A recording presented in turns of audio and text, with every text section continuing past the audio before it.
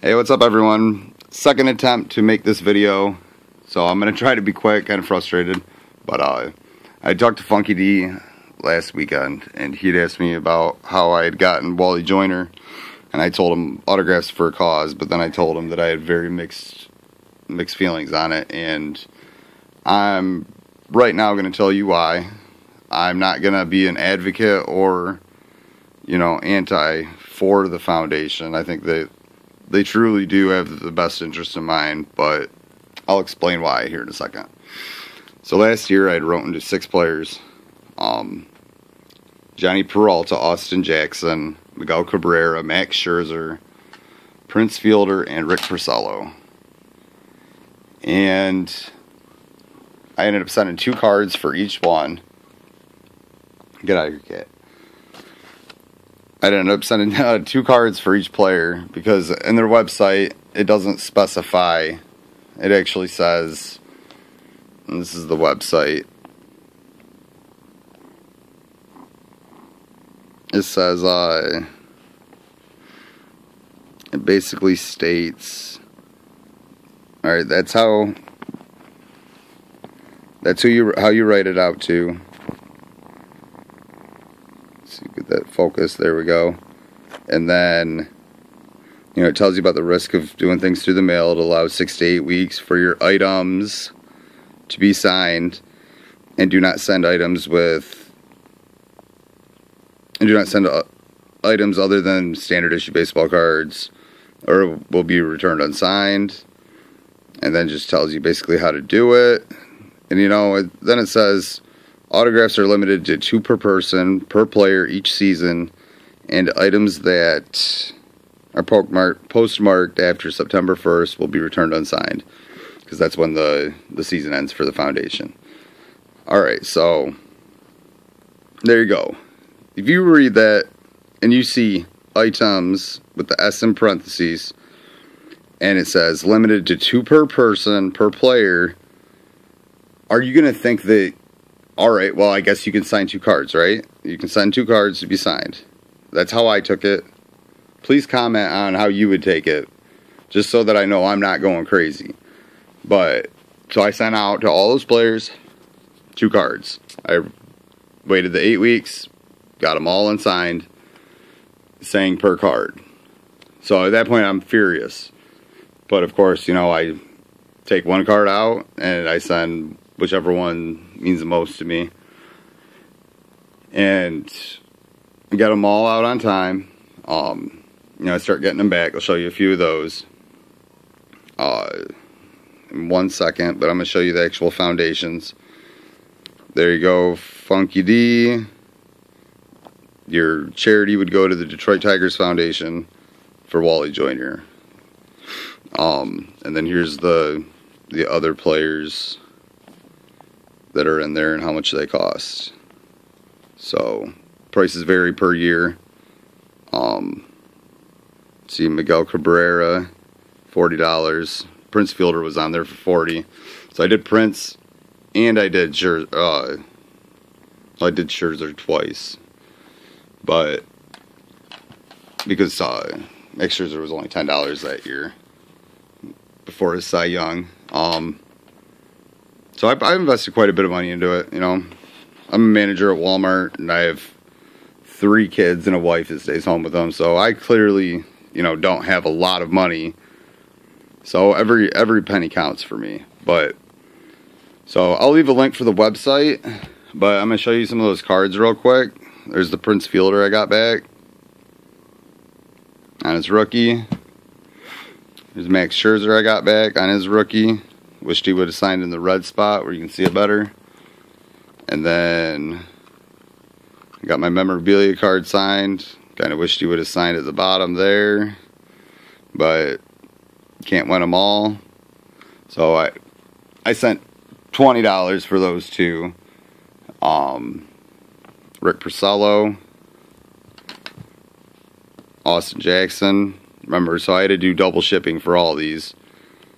And Austin Jackson was 10 last year too. I think I had, I think I got a second one of him also, if I remember correctly, but I just don't have it with me right now. And then Miguel Cabrera, bam. I wait I wait about 12 weeks to get him back, and I get a letter ex- expressing thanks for being a fan. Basically, at the end of the season, he had done so many autographs he didn't have time. So, at the beginning of this season, this was in 2013, I had sent this card instead uh, with a very disgusted letter because my money order, you know, I lost out on it because it had expired. And I made sure I put this out at the very beginning of the season just to make sure nothing like that happened. And I got no information, I got no feedback back about the the card or you know that they even read my letter. And basically I sent that out, and then I got it back with a letter t- like this, not this letter, but basically saying that, you know, about the $40 donation as if I didn't send one. So at that point, I'm like, fuck it, I'm really pissed. I mean, just being honest, like, I'm mad, mad. And I immediately got another one. I was like, I couldn't find his uh, the Detroit Tigers Foundation's email or anything like that, and so I just put it right back on out. I was destined to get Miguel Cabrera. Miguel Cabrera and Ken Griffey Jr. are my two favorite baseball players of all time. I don't have either of their signatures. It's like all I want are their rookies and prospects, autos, and all that. Those are my two favorite players to collect.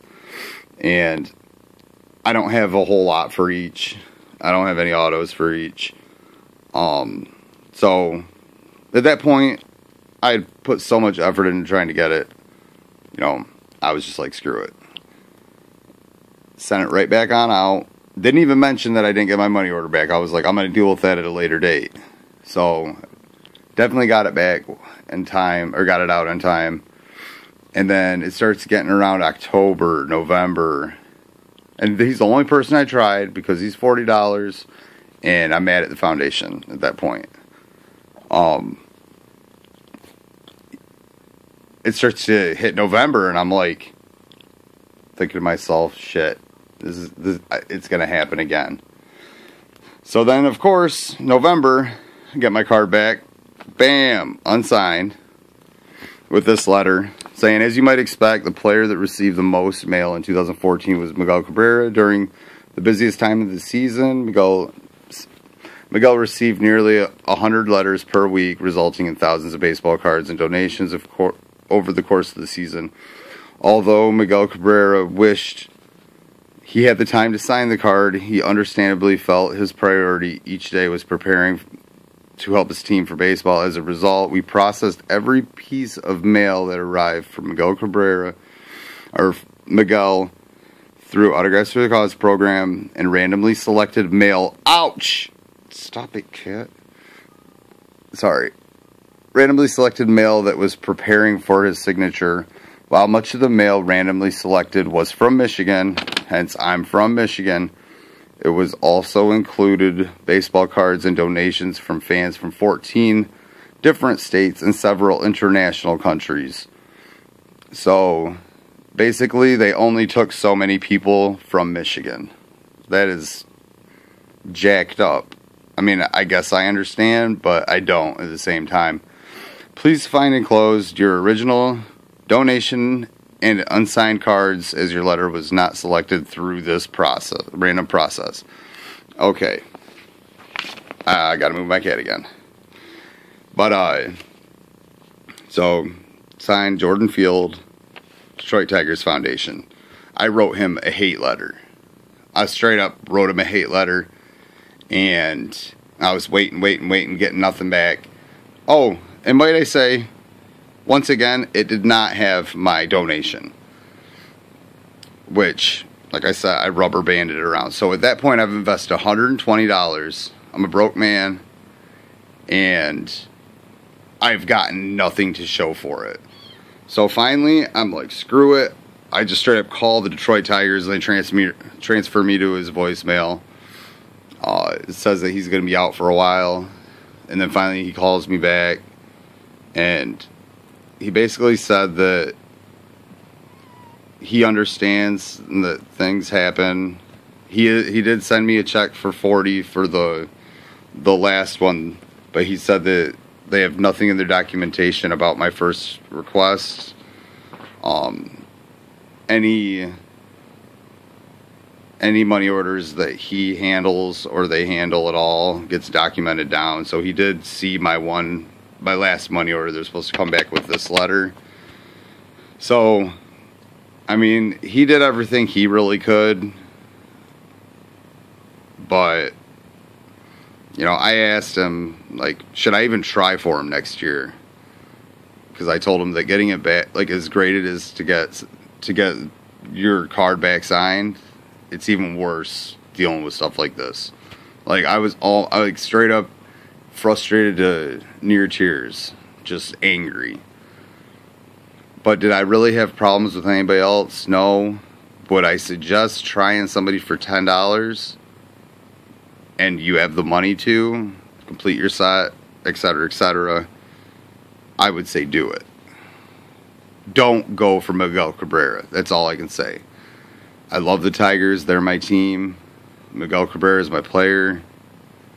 But damn, don't don't ever try it. Not him.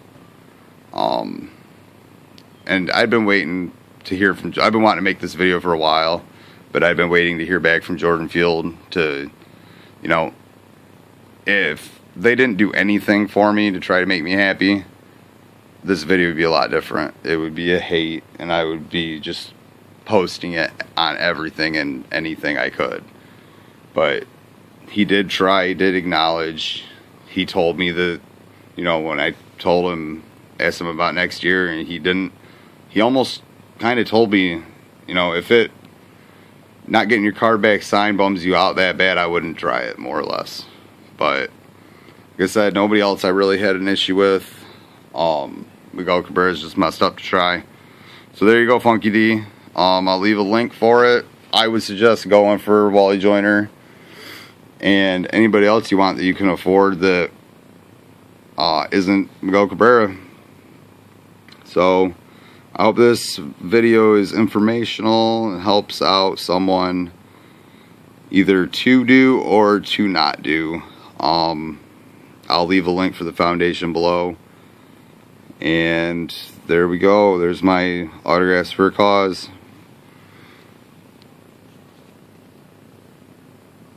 Have a good one.